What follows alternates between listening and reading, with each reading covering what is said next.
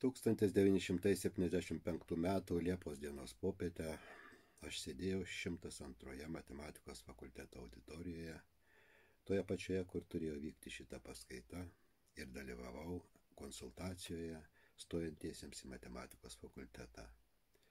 Konsultaciją vedė dėstytojas Vitenis Kabaila. Kažkas paklausė, kas yra figūros plotas jis būtų lengvai išsisukęs, pateikdamas kokį nors paprastą atsakymą.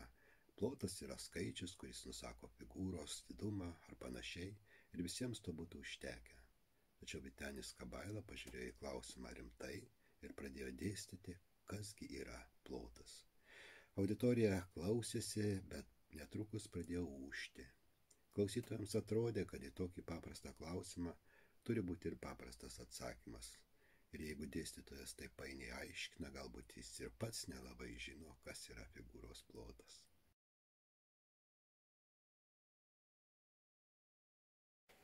Senųjų civilizacijų žmonės, kaip tie abiturientai, irgi gerai žinojo, kas yra figūros, kas yra sklypo plotas ir turėjo savus būdus jam skaičiuoti.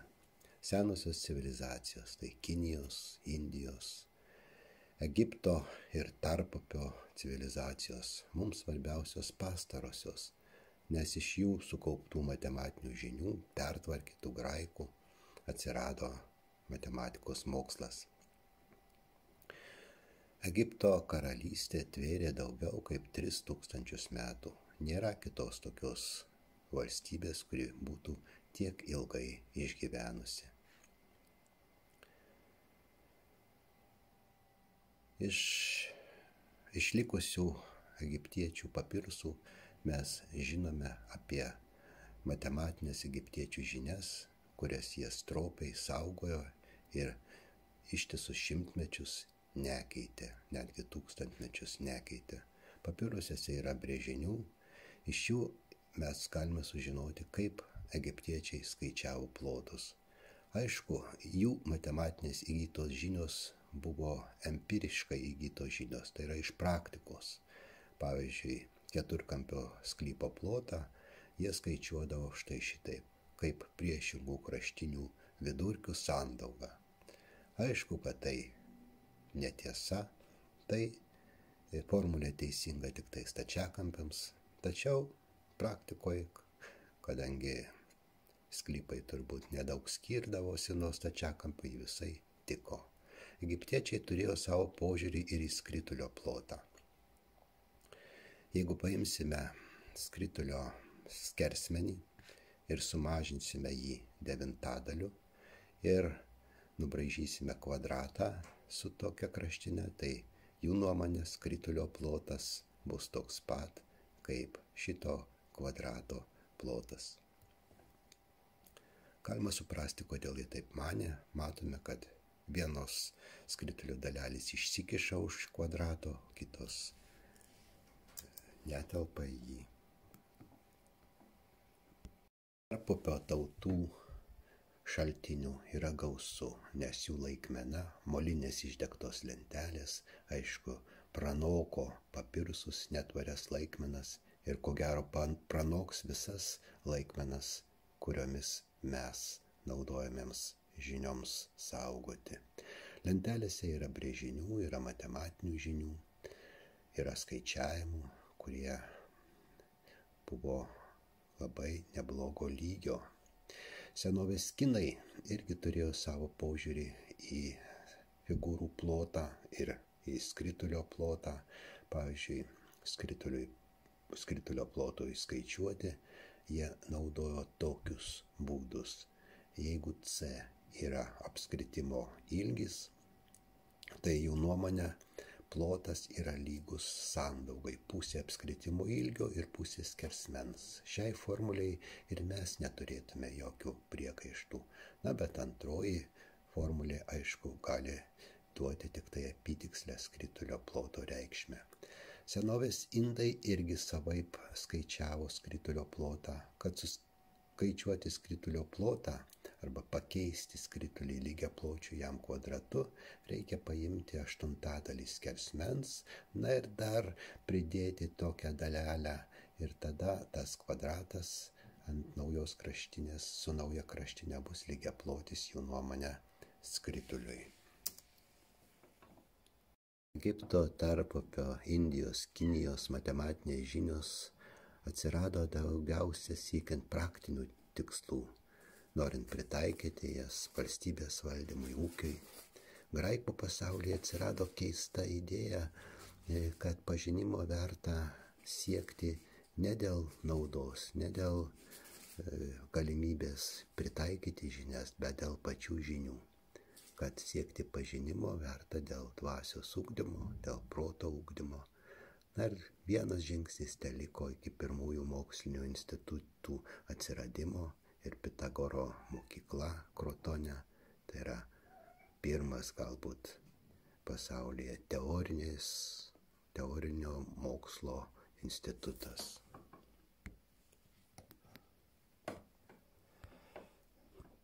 Pats žodis matematika, ko gero, kilo iš Pitagoro mokyklos. Matematika pitagoriečiams reiškia apskritai viską, ką galima tyrinėti proto. O jie buvo dideli optimistai ir jie mane, kad viską galima tyrinėti proto ir viską galima suprasti. Originali pitagoriečių pažiūra į pasaulio sąrangą. Jie nemanė, kad pasaulio elementai yra vanduo, ugnis arba dar kaž, kažkas. Jiems atrodė, kad pasaulį valdo skaičiai ir jie matyti įsivaizdavo, kad skaičiai egzistuoja lygiai taip pat kaip e, kitos pasaulio esybės. Na, o jeigu pasaulį valdo skaičiai, tai skaičiai ir geometrinės figūros turi sudaryti vienovę ir jie mėgo tyrinėti skaičius, kuriuos galima pavaizduoti geometrinėmis, geometriniais dariniais, pavyzdžiui, tokiais, tokius trikampius skaičius, kuriuos galima išdėlioti iš akmenėlių. Na ir e, galima, nagrinėjant e, šitas figūras, galima lengvai įrodyti kai kurias e, tokių skaičių savybės. Pavyzdžiui, kvadratiniai skaičiai.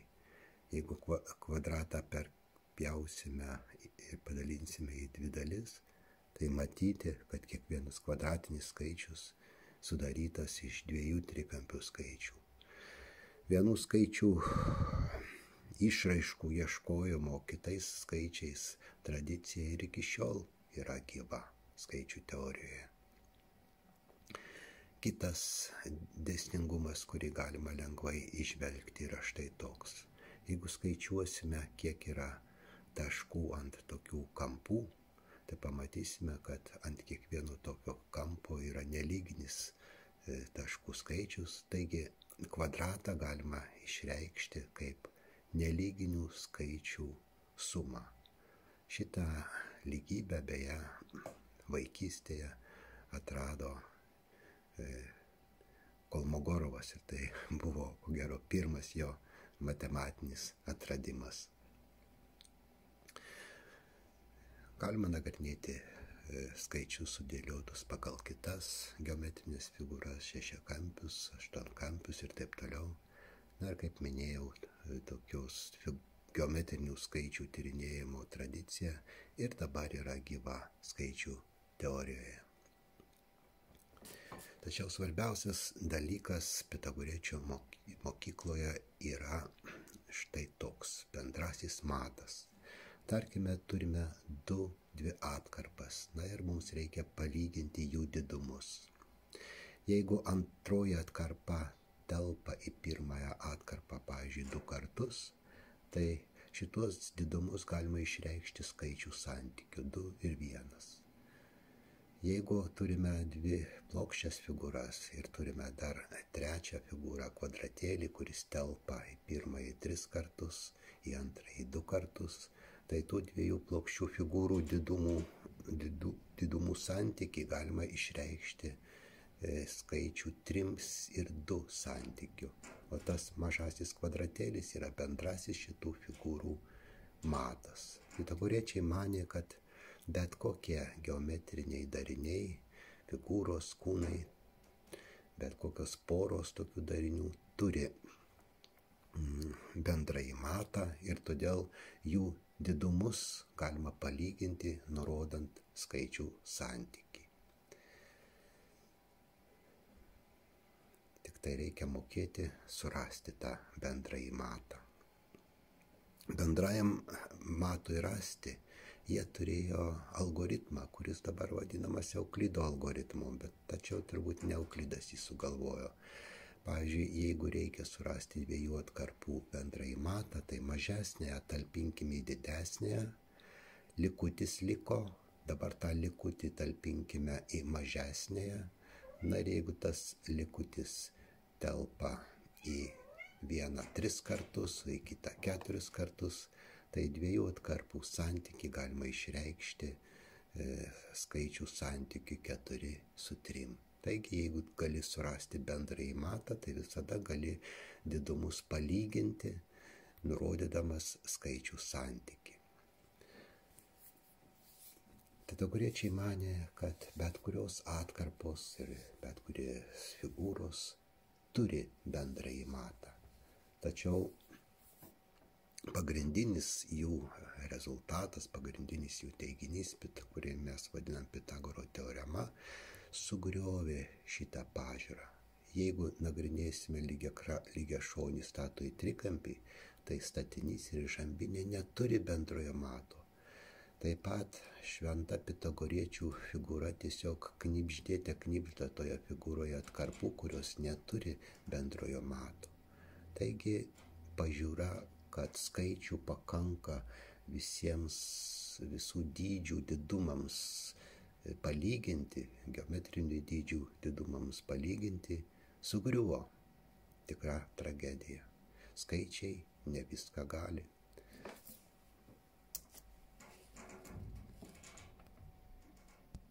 Jeigu skaičiai ne, vis, ne viską gali, vadinasi skaičių tyrimas ir geometrinių dydžių tyrimas turi būti vykdomi atskirai ir geometrija ir skaičių mokslas išsiskyrė beveik dviems tūkstančiams metų, kol buvo sukurta skaičiaus savoka ir taip pat analizinė geometrija.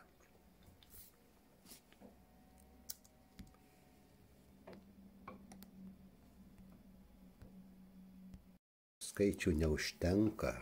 Kaip tada lyginti geometrinius objektus pagal jų didumą? Atkarpą su atkarpomis, figūra su figūromis, kūnus su kūnais. Aš sąmoningai nesakau pagal ilgius, pagal plotus, pagal turius, nes tai per daug šio laikiškos savokos. Teoriniai graikų matematikoje nebuvo tokios savokos plotas, tai yra skaičius, kurį priskiriam figūrai ir kuris reiškia figūros didumą. Sprendimą pasiūlė Eudoksas, vienas iš pačių žymiausių antikinės Graikijos matematikų. Mes galėtume jį pavadinti pirmuoju moderniu matematiku, kadangi jo pažiūra buvo tokia. Jeigu turimomis savokomis negali išreikšti problemos, tai reikia sukurti naują savoką. Ir ta naujoji savoka kurią Eudoksas sukūrė, išplėtojo, tai yra dydžių santykis. Dydžiai čia gali būti geometriniai dydžiai, atkarpos, e, figūros, kūnai, paviršiai. Jis išplėtojo e, vienarūšių geometrinių dydžių lyginimo pagal didumą, teoriją naudojant santykius.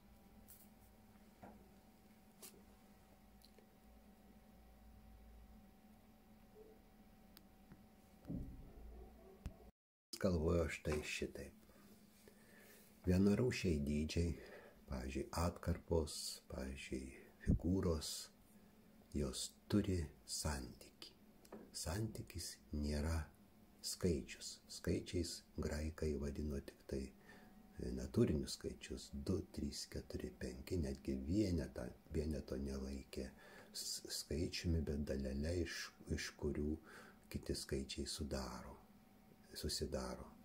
Vienarūšiai dydžiai, na tai tie dydžiai gali būti tie patys skaičiai ir linijos, ir plokštumos, plokštumos figūros, ir erdviniai kūnai. E, jeigu paimsime vienarūšių dydžių porą, tai jie turi santyki. Kartais santyki galima išreikšti skaičiais, jeigu vienarūšiai dydžiai turi bendrai matą. Tačiau, kaip pitagoriečiai nustatė, taip būna ne visada. Na, jeigu negali išreikšti skaičiais, tai tiesiog sakai, kad e, tie dydžiai turi tam tikrą santykį.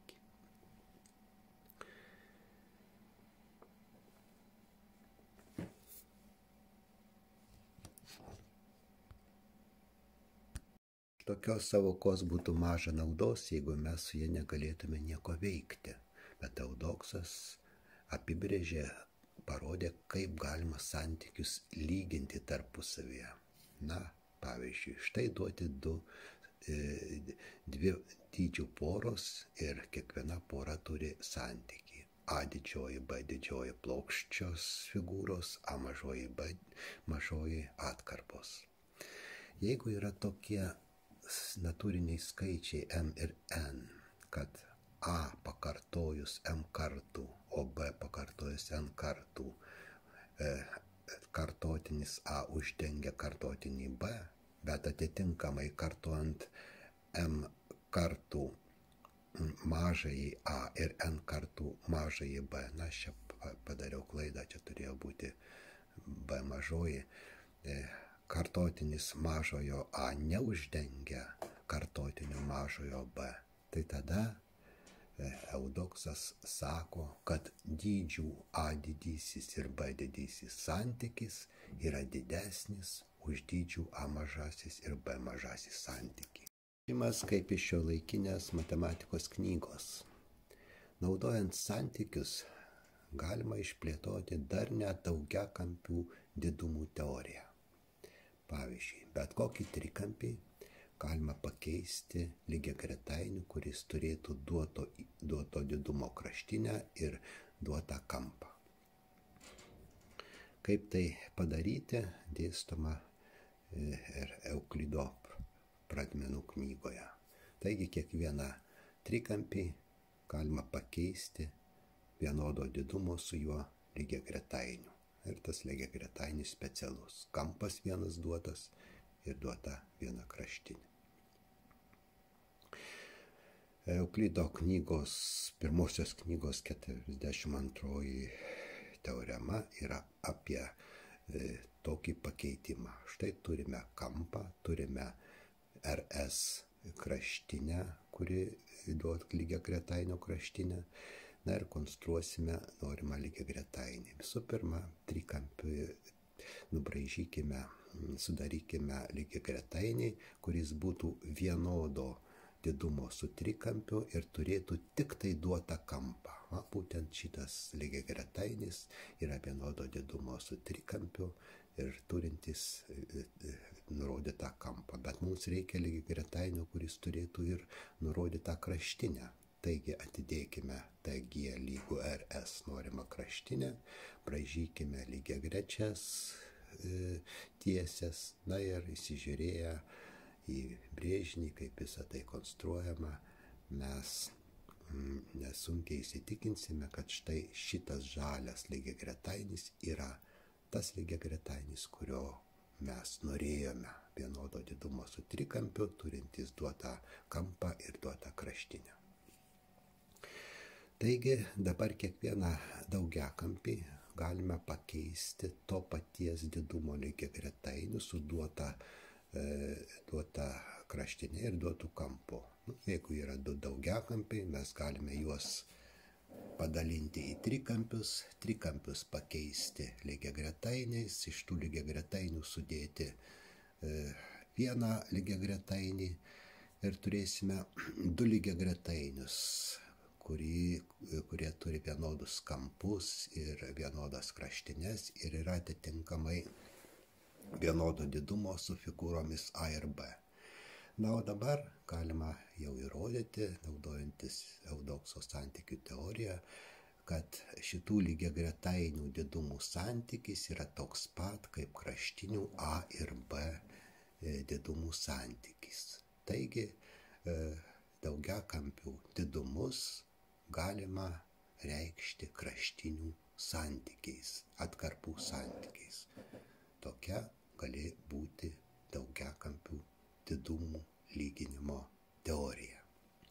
Būtų gerai į šitą teoriją įtraukti, žinoma, ir kitą graikišką figūrą - skritulį. Bet tai nėra paprasta.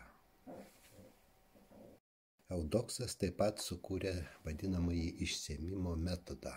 Tai yra mūsų ribų teorijos atitikmuo antikinės matematikos kontekste. Naudojantis šituo išsiemimo metodu galima įrodyti e, teiginius apie santykius. Pavyzdžiui, naudojantis šito metodu įrodoma, kad bet kurios skritulio didumo ir kvadrato didumo, kvadrato, kurio kraštinė lygis skritulio spinduliui santykis yra toks pat visiems skrituliams ir visiems E, kvadratams. Na, šitą santykį pažymėkime raidę pi.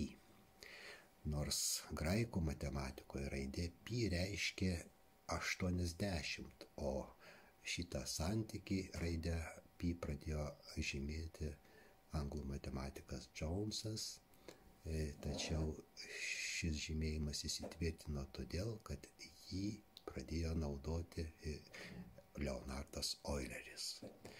Na taip pat ir apskritimo ilgis su skersmeniu irgi sudaro tą patį santykį pi. Kol kas dar bandysime išlikti graikų matematikos kontekste, tai pi nėra skaičius, tai yra santykis.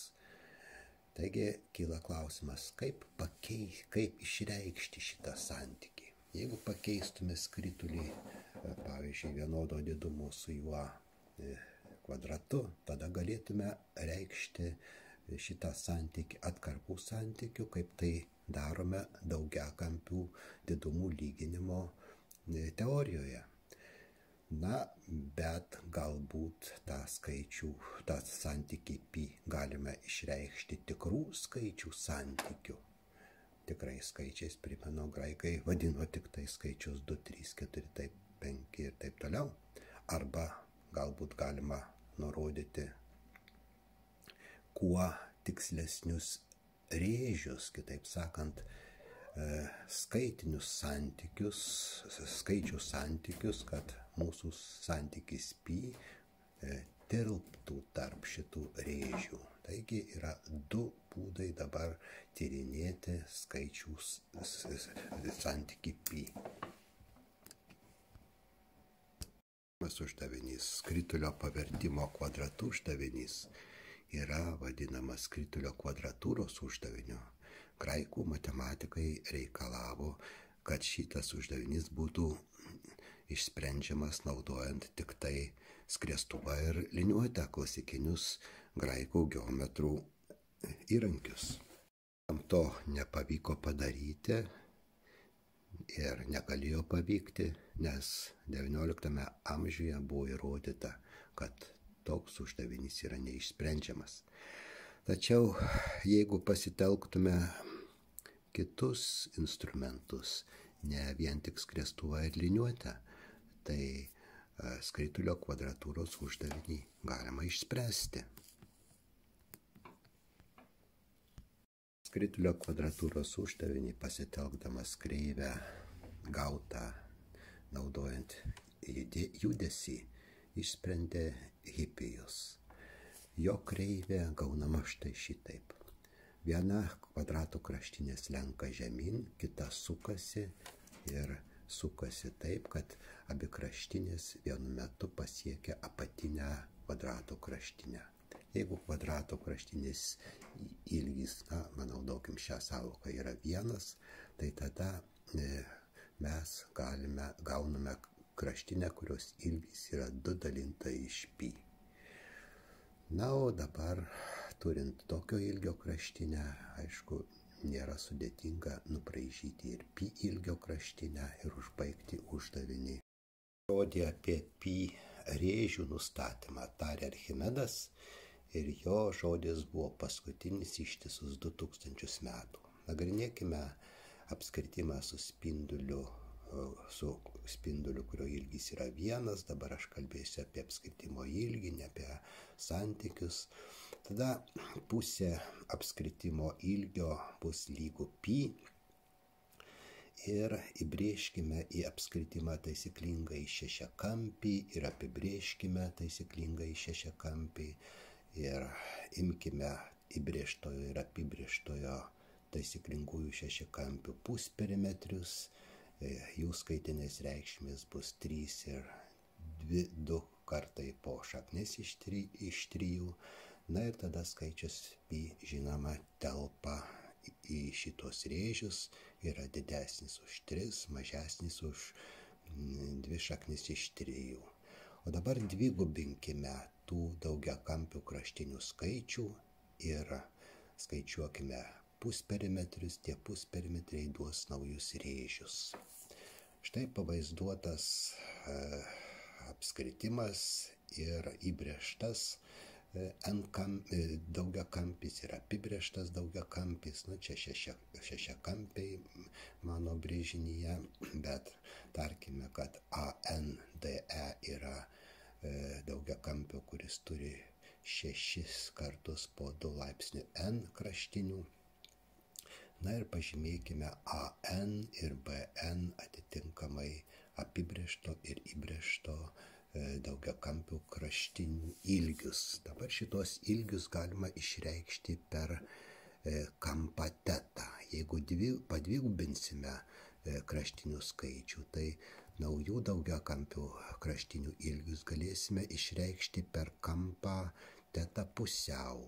Na ir dabar pasinaudodami trigonometrijos formulėmis mes galime tą daryti. Archimedui žinoma buvo žymiai sunkiau mes galime išreikšti an plus 1 ir bn plus 1 per an ir bn ir tokiu būdu gauti vadinamasis rekurentinės formulės e, kraštinių ilgių sekoms. Na čia yra štai e, tų trigonometrinių formulių pritaikymai. Čia yra tos rekurentinės formulės ir iš jų išplaukia sąryšiai pusperimetriams. Tie sąryšiai atrodo taip, jeigu PN yra įbrėžto e, daugiakampio pusperimetris, P didysis apibrėžto, tai tada galima įsitikinti, kad jie susiję štai tokiu būdu. Reiškia, braižyti daugiakampių iš viso nereikia. Reikia tik tai naudojantį šitomis formulėmis skaičiuoti rėžius. Skaičiaus pirėžius iš apačios ir iš viršaus.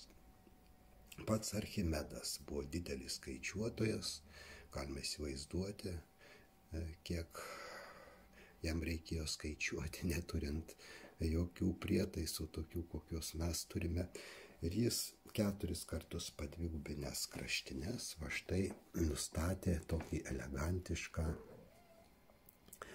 elegantišką nelygy, elegantiškas neligybės e, skaičiaus, skaičiui pi. Na, matome, kad tiek iš viršaus, tiek iš apačios rėžiai duoda tik tai dvi, du teisingus dešimtainius skaitmenis. Na, tačiau mes paprastai irgi tik naudojame 3,14. Archimedo metodo paskutinis gautas rezultatas priklauso Olandų matematikui Liudolfui von Soilenui. Jis skaičiavo net 25 metus, padvigubino e, daugiakampių kraštinių skaičių 60 kartų ir nustatė 35 tikslius pi e, išraiškos dešimtainėje sistemoje skaitmenis. Na, šitie skaitmenys yra kaip paminklas e, jam iškalti ant jo antkapio. Tai paskutinis rezultatas gautas Archimedo metodu.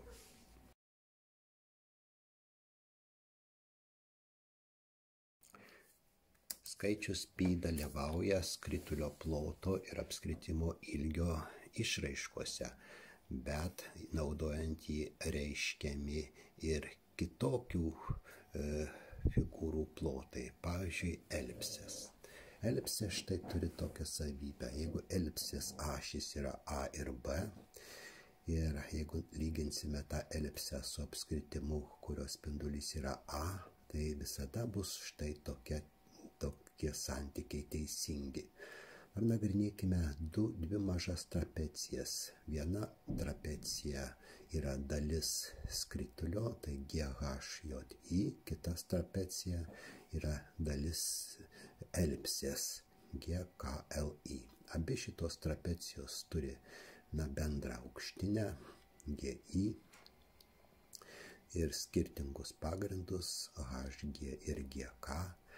Na tai lyginant jų plotus mes galime užrašyti štai tokį santykį, kad jų plotų santykis yra lygus vidurinių linijų santykiai, o vidurinių linijų santykis savo ruoštų yra ne kas kita kaip A dalinta iš B.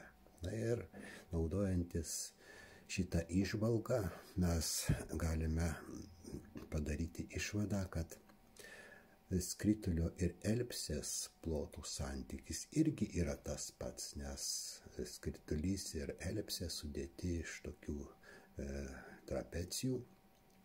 Na ir dabar įstatę e, išraišką skritulio ploto mes gauname, kad elipsės e, plotas yra lygus pi a b. Na, tai žinojo Jis nustatė, e, kad taip reikia elipsės plotą skaičiuoti, o štai tokiu, tokiu būdu. Mėgiamiausių 17 amžiaus matematikų kreivių yra cikloidė. Cikloidė yra kreivė, kurią brėžia taškas ant riedančio apskritimo. Šitą kreivę galėjo surasti ir graikų matematikai, bet kažkodėl nerado, na galbūt todėl, kad nemėgo judėjimo savokos. Tačiau 17 amžiuje matematikai e, tyrinėjo šitą, šitą kreivę. Ir vienas iš klausimų, koks vienos cikloidės arkos plotas. Taip, šitą plotą vienos cikloidės arkos nustatė, tiksliau sakant, įspėjo Galilėjus. Jisai kaip tikras fizikas išpjovė cikloidės arką iš kažkokios medžiagos, pasvėrė, palygino su skritulio e, e, plot, svoriu, išpjautų skritulio svoriu. Na ir spėjo, kad e, e cikloidės vienos arkos plotas yra lygus trigubam riedančio skritulio plotui. Ir tai yra tiesa. Tai cikloidės vienos arkos ilgis reiškiamas visai paprastai jis yra lygus 8r ir skaičius pi čia visai nedalyvauja. Šį rezultatą gavo anglų matematikas ir architektas Vrenas.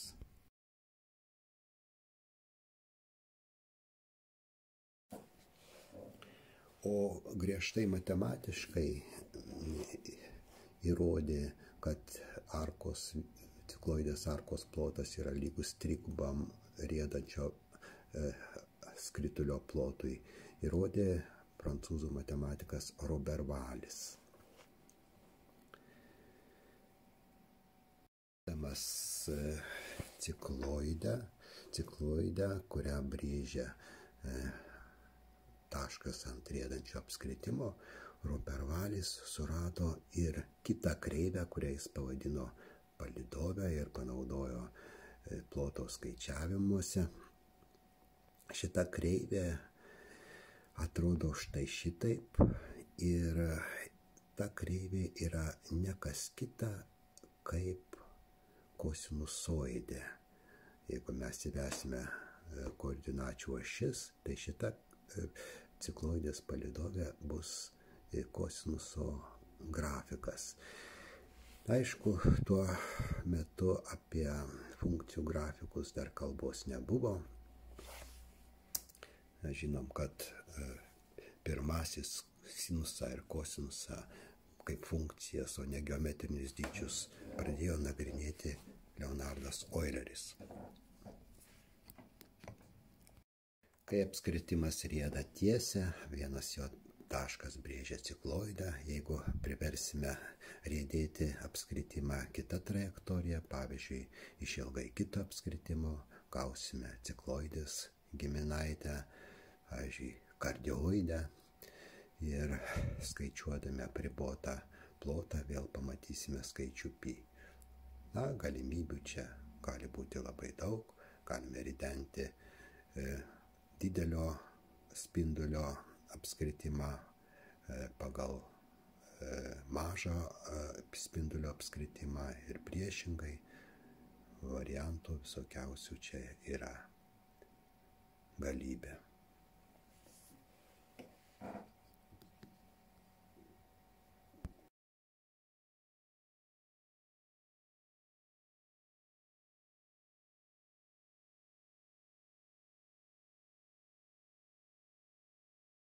Talpinsime apskritimą tarp dviejų lygiai grečių tiesių ir matuosime atstumą tarp tų tiesių, gausime apskritimo e, skersmenį, tai yra plotį.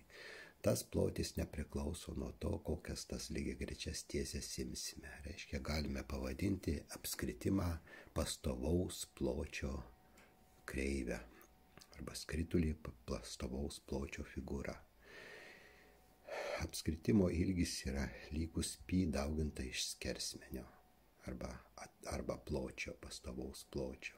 Bet yra ir daugiau pastovaus pločio kreivių.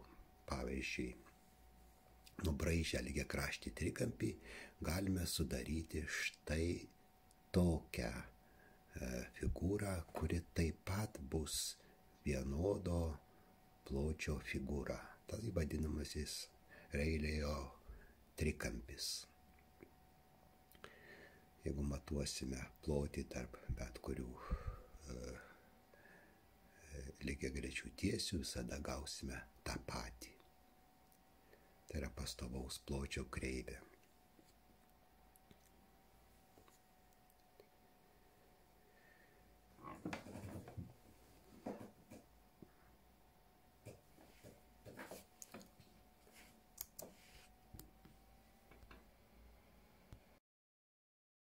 Tokią figūrą sugalvojo vokiečių inžinierius Fransas Roilėjus. Ji turi įdomių savybių. Naudojant šitą figūrą galima sukonstruoti graštą, kuris grėžtų kvadratinės skilės. Ir toks graštas iš tiesų buvo patentuotas 1914 metais Amerikoje. Na tiesa, sukti šitą figūrą mes turime apie centrą, kuris savo ruoštų sukasi, bet jis grežia beveik kvadratinės skilės. Tai yra ne tik tai Railėjaus trikampis, bet galima e, pastovaus pločio figūrą sudaryti pradedant nuo bet kokio taisyklingojo daugiakampio su nelyginiu kraštiniu skaičiumi. Ir štai teisinga tokia puikia teorema bet kurios tokios kreivės ilgis yra lygus pi dauginta iš pločio, lygiai taip pat kaip apskritimo ilgis.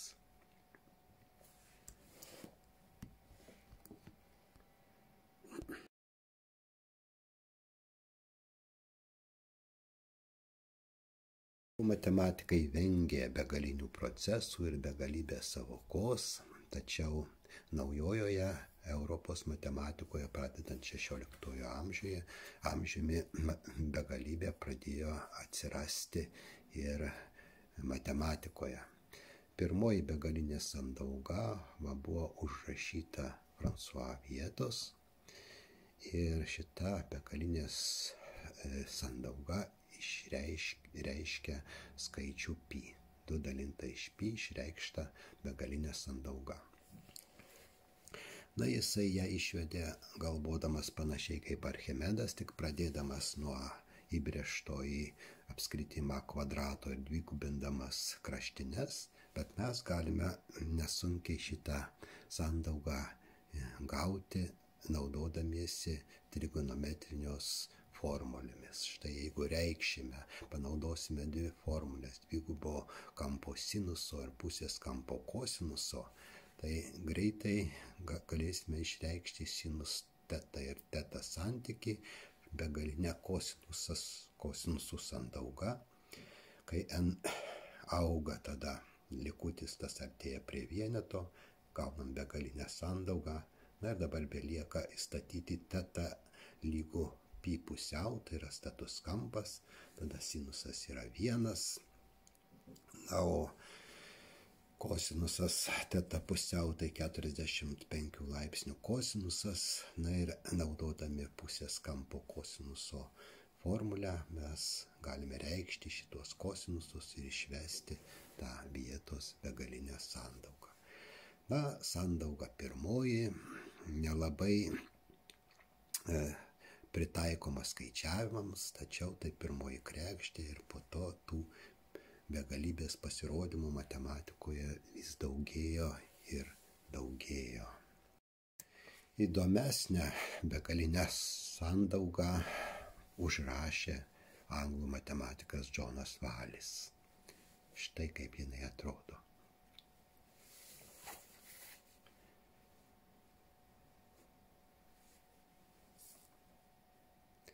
Vėl santykiui 2pi reikšti yra begalinė sandauga ir čia dauginami štai tokie e, daugikliai sudaryti kiekvienam lyginio skaičiaus kvadratui. Na jau įrodymas žinoma sudėtingas, o e, šiuo, šio laikinės matematikos kontekste e, sandaugą galima įrodyti štai nagrinėjant tokius integralus. Tokie integralai susiskaičiuoja. Na ir įdomu, kad jeigu laipsnis sinuso nelyginis, tai pi nepasirodo išraiškoje, o jeigu lyginis, tai pasirodo. Na ir dabar įrodžius, kad sinusų integralų santykis artėja prie vieneto, mes gaunam, kad 2 dalinta iš pi va, reiškiama tokiu santykiu, kurį išskleidus gaunasi begalinė sandauga ir daugikliai, e, daugiklis e, gaunami panaudojant lyginių skaičių kvadratus.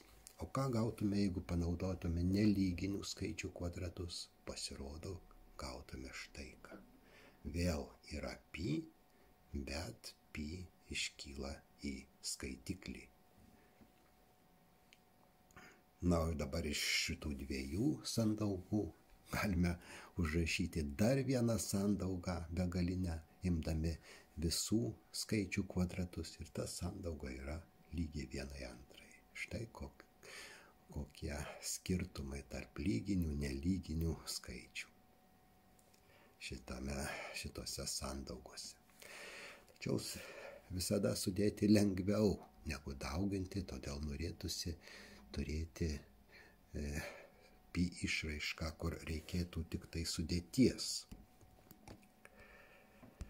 Tokios išraiškos netruko pasirodyti nagrinėkime geometrinės progresijos narių sumos išraišką, įstatykime q lygų minus t kvadratu. Na ir perrašysime dabar šitą išraišką tokiu būdu. Kairėje pusėje paieškokime funkcijos, e, kurios išvestinė būtų lygi kairės pusės reiškiniui ir funkcijos, kuri, kurios išvestinė lygi dešinės pusės reiškiniui, netruksime eh, surasti arba prisiminti, kad kairės pusės reiškinys yra arktangento išvestinė, na, o dešinės pusės reiškinys yra štai tokios begalinės eilutės išvestinė. Kitaip sakant, mes suintegruojame tą lygybę eh, panariui Na ir tokiu būdu gaunama e, arktangento eilutė, eilutė arktangentui. Tai yra Gregori ir Leibnico begalinė eilutė. Dabar jeigu įstatysime t lygų vienas, tai arktangentas vieno yra pi iš keturių, o čia gausime iš pi e, ketvirtadalio išraišką begalinę eilutę. Tiesa, ta begalinė eilutė skaičiavimams ne kažin kiek mm, tinkama, kadangi labai jau labai labai labai lietai artėja e, tas, tos dalinės sumos prie pi dalinta iš keturių reikšmės. Tačiau atsirado ir e, patobulinimas, kuris paspartino skaičiavimą. Štai Džonas Mačinas, anglų matematikas, pasiūlė štai tokio, e, tokios rūšės formulės. Taip, paprasčiausiai iš jų galima gauti štai šitaip. Nagrinėkime kvadratą. Na ir dabar strižainės dalina kampus pusiau. 45 laipsnių kampas pi iš 4 susideda iš dviejų dėmenų, alfa ir beta. Dabar tangentas alfa yra lygus vienai antrai, taigi alfa yra arktangentas pusės, o, o tangentas beta yra vienai trečiai lygus. Tuo nesunku irgi įsitikinti. Taigi, pi iš keturių galima užrašyti dviejų arktangentų sumą Taigi gauname mm, štai tokį, tokią formulę. Iš keturių lygo arktangentas viena, vienos antrosios plus arktangentas vienos trečiosios. Na ir jeigu dabar naudosime Gregorio Leibnico formulę, tai tada į eilutę reikės vietoj x statyti vieną trečiąją ir e, vieną antrąją ir tokiu būdu artėjimas prie pi ketvirtadalio žymiai pagreitės. Šitokiu būdu e, skaičiaus pi skaitmenys ir buvo skaičiuojami. Taigi Archimedo e, metodas galų gale buvo pakeistas metodu, kuris yra patogesnis, leidžia greičiau a, a, gauti tikslius pi skaitmenis.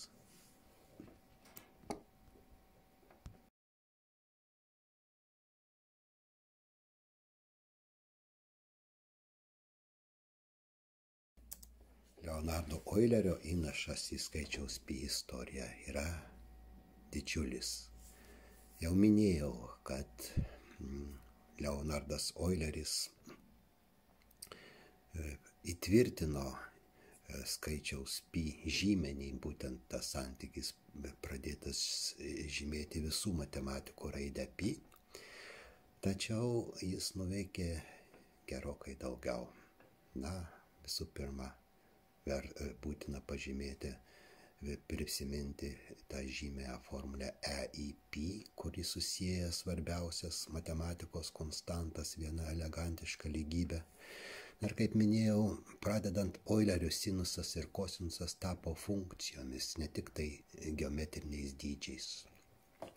Dar Eulerio dėka skaičius pi pradėjo rodytis vis dažniau skaičių teorijos sąryšiuose. Trikampių skaičių atvirkštinius susumavo Leibnicas.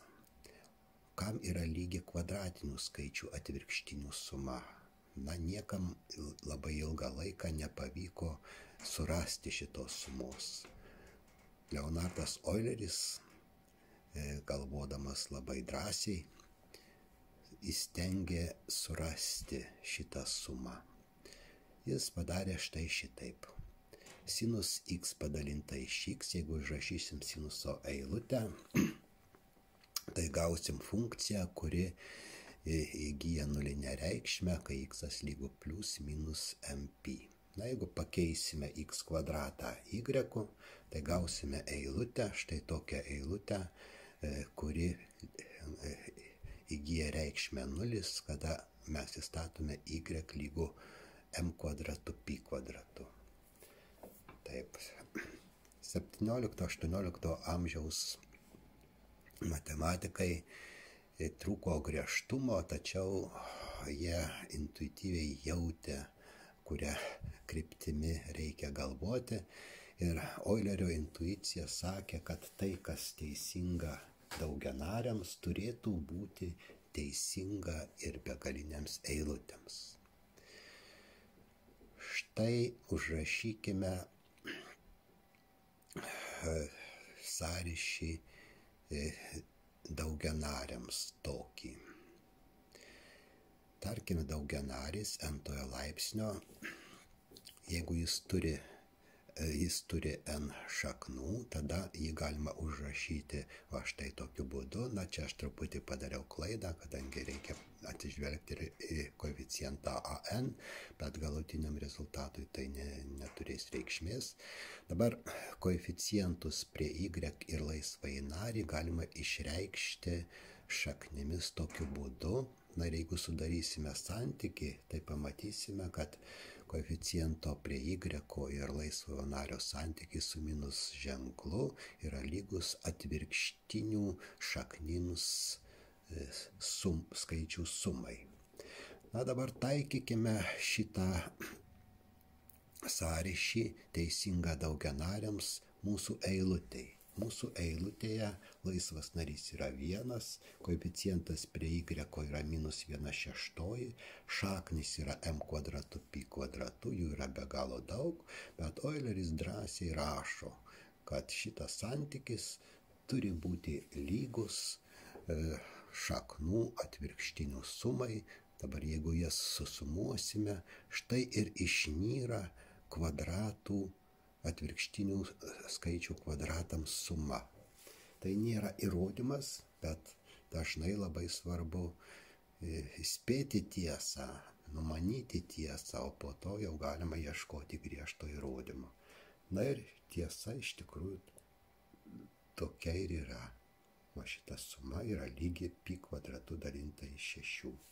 Na, Oileris iš tiesų nustatė žymiai daugiau jisai stengia e, susumuoti ir mm, atvirkštinius ketvirtiesiams laipsniams ir apskritai surado išraišką atvirkštinių lyginėms, e, lyginių laipsnių atvirkštiniams išraišką. Na, ta išraiška užrašoma mm, per pi vėl ir per racionaliosius skaičius, čia tokie įeina į tuos racionaliosius skaičius Bernulio skaičiai.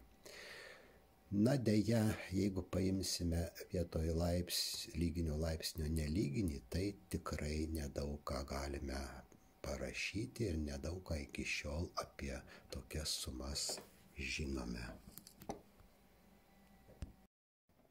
Na, štai dar vienas faktas iš Leonardo Eulerio gyvenimo galintis suteikti mums tam tikro optimizmo.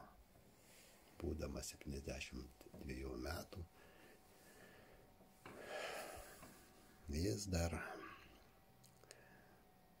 ėmėsi skaičiuoti pi skaitmenis ir surado jų net 20.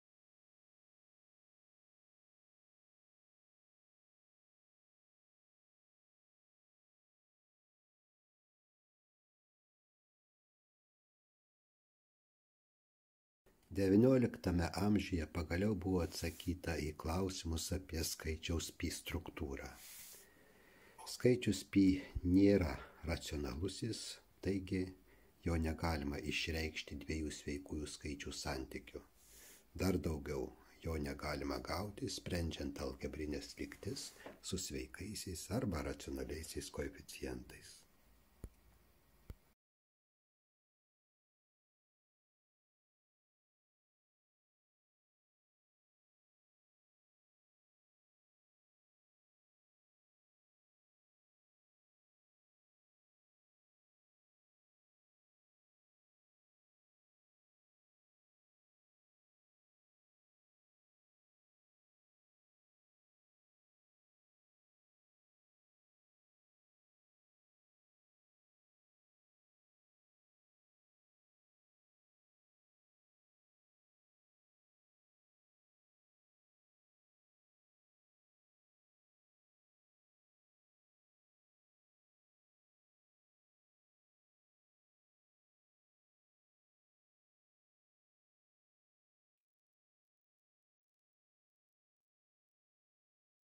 XIX amžiuje matematikos raida buvo labai veržlė ir viena iš matematikos krypčių naujų tai yra susijusi su elipsiniais integralais. Elipsiniai integralai atsirado bandant išreikšti elipsės lanko ilgius integralais. Na, apskritimo ilgį galima išreikšti štai tokiu integralu.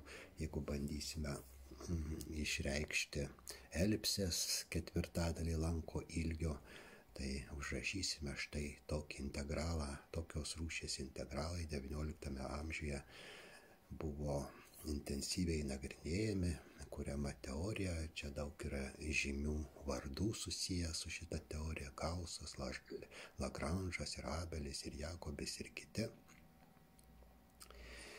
Na, kaip tai susiję su skaičiaus pi e, istorija? Na, Lagranžas pastebėjo, kad elipsiniams integralams, tam, tam tikriems skaičiuoti arba apitiksliams reikšmėms jų skaičiuoti praverčia štai tokia savoka kaip e, aritmetinis e, geometrinis vidurkis. Imkime du skaičius A ir B, tegu B yra mažesnis už A, na ir sudarykime jų aritmetinį ir geometrinį vidurkius. Aritmetinis vidurkis ir geometrinis vidurkis. Na dabar turėdami du skaičius ir vėl sudarykime aritmetinį ir geometrinį vidurkį ir taip rekurentiškai apibrėžkime dvi sekas. Viena seka aritmetinių vidurkių, kita seka geometrinių vidurkių. Geometriniai vidurkiai didėja, aritmetiniai vidurkiai e, mažėja ir jie šitos sekos viena mažėjanti, kita didėjanti turi bendrą ribą. Ir ta bendroji riba ir vadinama skaičiaus, skaičių A ir B aritmetiniu ir geometriniu vidurkiu. Na, skirtumas e, tarp šitų vidurkių nyksta, žodžiu, mes turime bendrą ribą, kurią pažymėkime taip MAP. Taip, va, Lagranžas e, išvelgė, kad šitas aritmetinis geometrinis vidurkis yra svarbus elipsinių integralų e, teorijoje. Aritmetinio geometrinio vidurkio savoką algoritmą tyrinėjo Gausas. Ir Gausas štai nustatė tokį puikų e, teiginį. Nagrinėkime kreivę, kuri vadinama Bernulio lemniskatė. Ja sudaro taškai, taškai, kurių atstumų iki žydinių F1, F2 sandauga yra pastovė. Na, imkime, kad ta sandauga būtų viena antroji tada kraštinių taškų e, tos lemniskaitės abscisės bus lygios vien, vienetui ir minus vienetui. Taip, dabar nubraižykime apskritimą, kurios spindulys yra vienetas. Na ir gauso atradimas yra štai toks. Jeigu imsime hmm, apskritimo ilgį ir šitos lemniskatės ilgį ir sudarysime jų santyki, tai pasirodo, kad šitas santykis yra lygus aritmetiniam geometriniam vidurkiui skaičių šaknis iš dviejų ir vienas. Apskritimo ilgis reiškiamas per pi, na, o kaip reiškiamas L sunku pasakyti. Na, jeigu galėtume kažkaip skaičius surasti būdą, kaip apitiksliai skaičiuoti lemniskatės tos ilgį, tai tada e, šitą formulę galbūt galėtų duoti algoritmą skaičiaus pi reikšmiai tikslinti. Na ir iš tikrųjų po ilgos ir nelengvos analizės, kuri užima nemažai puslapių, toks algoritmas buvo sukurtas ir užrašyta štai tokia lygybė. Pi ketvirtis reiškiamas per aritmetinį geometrinį vidurkį. Čia CN irgi susijęs su ta aritmetiniu ir geometriniu vidurkiu sekomis. Ir štai toks pi skaičiavimo algoritmas pradedam nuo skaičiaus vieno ir vienintas šaknis iš dviejų ir skaičiuojam apytikslę pi n reikšmę štai tokiu būdu. Kaip matot, skaičiavimai gana paprasti, o artėjimo greitis yra labai didelis. Taip, šitas algoritmas buvo sukurtas jau mūsų moderniais laikais, 75 metais praeito šimtmečio. Na ir anaip tol tai nėra vienas e, greitas algoritmas. Yra daug tokių, e, tokios rūšies algoritmų, kurie leidžia labai greitai skaičiuoti pi dešimtainis skaitmenis. Apie skaičių pi, žinoma, negalima nepaminėti Šrinivašos Ramanudžano įnašo. Tai buvo genialus matematikas, Jeigu pavartysime jo štai 20 puslapių e, dydžio e, straipsnį skirtą skaičiui pi, pamatysime daugybę įspūdingų, įspūdingų formulių siejančių skaičių pi su kitomis konstantomis. E, šitame straipsnėje yra daug formulių skaičiui pi reikšti ir e, remiantis jomis galima greitai tuos skaitmenys skaičiuoti. E, Gottfriedas Wilhelm Hardy, anglų matematikas, kuris globojo Ramanudžaną, sakė, kad jeigu matematikus vertintume šimto balų skalėje pagal gabumus, tai savo jisai skirtų 20 Hilbertui 90, o Ramanučano galimybės vertintų net 99. Na, turbūt šimtą jisai vis dėlto paliko Dievo matematiniams galimybėms vertinti. Štai toks yra mm, šitas Ramanučano straipsnis. Jame nėra ne vienos nuorodos, visos formulės iššoko iš jo galvos. Praktiškai niekam nereikia tiek daug skaitmenų, kiek dabar yra žinoma. Ar šitas grafikas rodo, kaip didėjo tų skaitmenų skaičius. Na, aišku, šuolis atsirado, kai atsirado kompiuteriai, bet ne tik dėl to, kad atsirado kompiuteriai, bet sukurti ir nauji pi skaičiavimo algoritmai ir e, tų skaičių dabar žinoma labai daug, skaitmenų labai daug, 5 dauginta iš 10 trirliktuoju, trirliktuoju laipsniu. Nu, kokie žmonės daugiausia čia nusipelnė siekdami rekordo. Buvo toks matematikas Borveinas, gimęs 24 metais Kaune ir dabar atrodo gyvas. Na ir turėjo du sūnus, turi du sūnus, vienas tiesa jau yra miręs. Ir jie ilgą laiką dirbo skaičiuodami pi reikšmės, pi skaitmenis ir parašė net knygą didelę apie aritmetinį geometrinį vidurkį ir skaičių pi.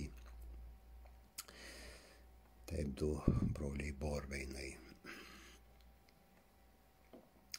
Buvo dar du broliai, broliai Čiudnovskiai 1978 metais emigravę iš Kievo į New Yorką. New York'e nusipirko kompiuterį ir pradėjo skaičiuoti e, pi reikšmės. Vienas yra sunkiai serga ir beveik guli lovoje. Tai ir dar vienas matematikas taip pat e, siekęs pi rekordų yra japonų matematikas Kanada. Šiais metais jis irgi mirė. Atsirado ir naujas būdas siekti e, tam tikrų rekordų susijusių su pi skaitmenimis.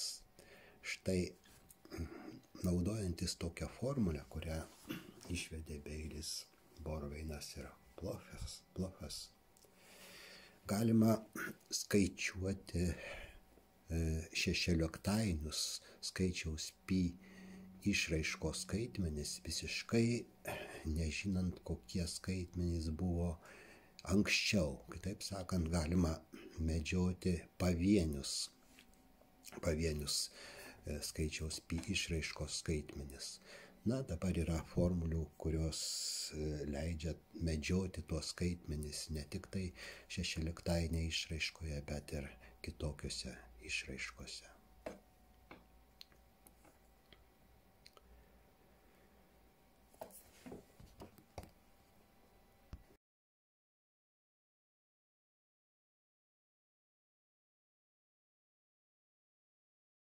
Vaikai šioks toks pokštas. Jeigu turime C ilgio tvorą, tai daugiausia galima apjuosti ją štai tokio e, ploto sritį C kvadrato dalinta iš 4pi.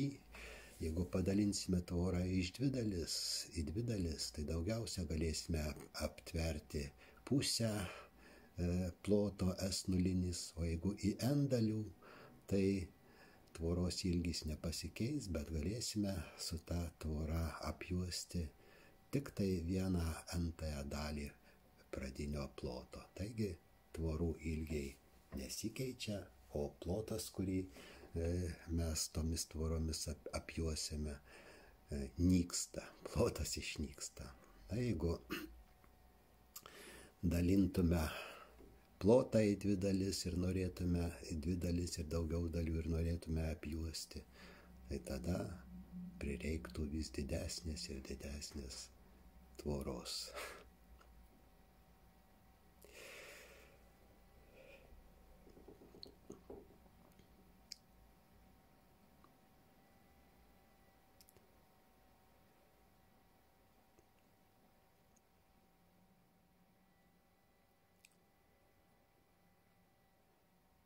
Ačiū uždėmesį, bet tiesą sakant, aš labai abejoju, ar daug kas išklausė mano šitą paskaitą iki pabaigos. Jeigu aš klystu, parašykite komentaruose.